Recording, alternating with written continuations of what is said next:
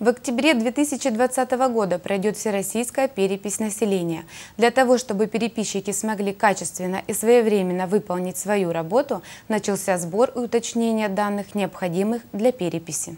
С 1 августа на улицах Славянска на Кубани можно встретить людей с планшетом в руках, которые переписывают адреса домов и могут поинтересоваться количеством проживающих. Волноваться не надо, это регистраторы. Они собирают данные для обеспечения полноты учета жителей в период проведения всероссийской переписи населения. С 1 августа по территории Славянского района пошли регистраторы, в задачи которых входит э, уточнение адресного хозяйства, это они проверяют э, наличие адресов домов э, с маршрутным листом и картографическим материалом, согласно наличию их на местности. Уточнением и сбором данных в Славянском районе занимаются 60 регистраторов. У каждого в обязательном порядке при себе должно быть удостоверение. Регистратор может уточнить численность фактически проживающего населения в частном секторе. Эти сведения заносятся со слов граждан. Никаких документов предъявлять не надо. Уважаемые славянцы, э, регистратор может э, запросить количество проживающих.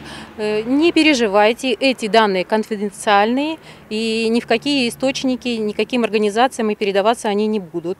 По всем возникающим вопросам можете обращаться в Славянский отдел статистики по номерам 40201 22105. Регистраторы будут работать до 30 августа. Все собранные ими данные обработают и, согласно им, скорректируют маршрутные листы переписчиков, определят объемы их работы в октябре 2020 года, когда начнется всероссийская перепись населения. Анна Монастыренко, Игорь Ванчиков, программа «События».